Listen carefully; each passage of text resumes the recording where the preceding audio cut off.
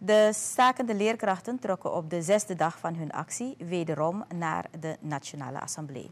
De vorige week donderdag hadden de actievoerders onder leiding van Wilho Valies al een gesprek met assembleevoorzitter Jennifer Geerling-Simons. Simons gaf daarbij aan dat ze zich sterk zou maken om een gesprek te arrangeren tussen de regering en de leerkrachten. Echter vernam de bond daarna niets meer van haar. De onderwijsgevenden wilden vandaag horen wat de status was van haar bemiddeling, maar werden niet ontvangen. Boos gingen de actievoerders terug naar het stakingscentrum Uniek. Daarna vertrokken ze naar de congreshal, waar de presidentiële commissie bezig was met informatieverstrekking over de herwaardering. De bond eiste dat minister Robert Peneu naar buiten kwam.